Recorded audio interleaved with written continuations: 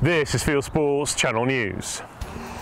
Police say they've spoken to an animal rights extremist who appeared to hit a horse during a Boxing Day meet. The female protester was filmed shouting abuse at members of the Kent Hounds, and then she appeared to use her protest placard to hit one of the 65 horses being ridden. The horse seemed spooked by the attack and reared at the crowd. Her behaviour has been described as incredibly dangerous and reckless. No one in the large crowd watching the parade was injured. Dominic Coots from the Kent Hounds said several other horses were spooked by the attacks. These people, they're the same that glue themselves to roads, that disrupt sporting events, interrupt theatre productions, and deface war memorials. They have no care for animal welfare. They just have a hatred for us, for what they call toffs on horses. They oppose you, they oppose us, they oppose tradition. And it's born from a fundamental lack of understanding and empathy. Today, hunting is at the front line. When they finish with that, it will be shooting, it will be fishing, it will be farming, Three people from the world of shooting have received medals in the New Year's Honours List Elaine Barnwell, Adrian Morrow, and Rob Collins. Elaine has helped to raise more than £200,000 for the Royal Marines charity in 10 years of volunteer work organising their annual clay pigeon shoot. Adrian is the chief executive of the Irish Grouse Conservation Trust, which has been conserving the depleted grouse populations and their natural uplands habitats in Ireland since 2006. There's a link to our film about the IGCT below. And Rob's charity Pass It On Young Sports helps get children and young people into country sports. All have been awarded the British Empire Medal. Congratulations from all of us to all of you. The publishers of The Big Issue have printed a full page ad calling for pheasant shooting to be banned. In the Christmas special edition of the magazine, the charity Animal Aid took out a full page ad calling for a ban on shooting pheasants and partridges. It claims the shooting industry is propped up by taxpayers' money and asks people buying the magazine for the homeless to sign a petition. Shooting organisations say misinformation from the charity needs to be corrected homeless charities, the Country Food Trust, they've given out 3 million meals, has been provided by the shooting community to the homeless. So we need to remember all this and educate people on it. The RNLI has been condemned for refusing donations gathered by fox hunters in Northern Ireland. The Dungarvan Hunt was due to take donations to the local branch of the rescue charity at its 31st of December event. The life-saving charity says it won't take the money because it doesn't support fox hunting, which is legal in Northern Ireland. The RNLI's refusal has led to widespread criticism and questions about the relationship between the charity and field sport supporters, some of whom have made huge donations in the past.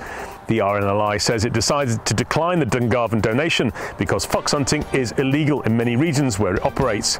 Asked whether the same ruling now applies to trail hunting and shooting in England, it declined to comment further. Rebekah Vardy is a new champion of trail hunting after she rode out at a Boxing Day meet. Antis attacked the wife of footballer Jamie Vardy on social media after she posted on her Instagram account that she'd enjoyed a festive day with her new horse at a trail hunt in the Vale of York. She posed for pictures and said there was a great turnout and even better port and mulled wine. Rebekah was back out on her horse a few days later, joining the Redesfield Bloodhounds in Leicester. BASC has revealed it has awarded over £100,000 to conservation projects over the last 12 months. It handed just over £50,000 to the Cairngorms National Park to help its work in conservation for the capercaillie. RSPB-led efforts to preserve the capercaillie, which have so far cost more than £5 million, are ideologically opposed to predator control, and so capercaillie numbers have halved in the past decade to around 500. BASC's Wildlife Fund has donated 45,000 euros to the Sotka Wetlands project in Finland. It's in the process of helping to create 40 wetland sites to benefit wildfowl. The fund has also granted £25,000 to help the return of hen harriers in the UK. Last summer, there were 141 hen harrier chicks fledged from 54 nests as part of a breeding programme run by gamekeepers. How about this for a bonus catch? Its exact weight is unknown, but contractors netted this large mirror carp during work to drain and clear the Welsh Harp Reservoir in northwest London. It's one of 100,000 fish that the Canal and River Trust is removing from the reservoir, which is draining before a cleanup operation to remove tons of litter from the 170 acre site and to service the sluice gates. There's bad news for anglers hoping to cash in when the waters reopen after the cleanup though. No fishing is allowed. Good news, however, for anglers on local canals, that's where the Canal and River Trust is rehoming the fish. A shoot in Yorkshire has curried favour with the homeless. The Bolton Abbey Estate donated pheasant curries cooked up by member Simon Grace to the charity Homeless Hampers to help stave off winter chills. The food helped feed 50 people as part of an initiative by the Leeds-based organisation. And staying with cooking game, our own Kayak Bryn has been shortlisted for the Eat Game Awards 2024 in the category of Media Influencer of the Year. To vote, follow the link in the description below. Closing date is the 10th of January. A team of rowers, including two Fieldsports Nation members, have passed the halfway point in their quest to cross the Atlantic. Former soldier Tom Atkinson and serviceman Paul Roadnight are part of a four-man crew taking part in the 3,000-mile World Toughest Row. These are the latest pictures from their boat Atlantic R2R, which is moving steadily up the field. They're currently fifth overall and are third in the four-man race. They're hoping to raise more than £10,000 for services charities. And finally, a very rare mid-air collision.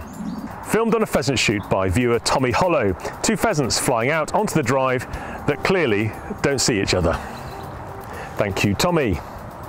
You are now to date with Fieldsports Channel News. Stalking the stories, fishing for facts.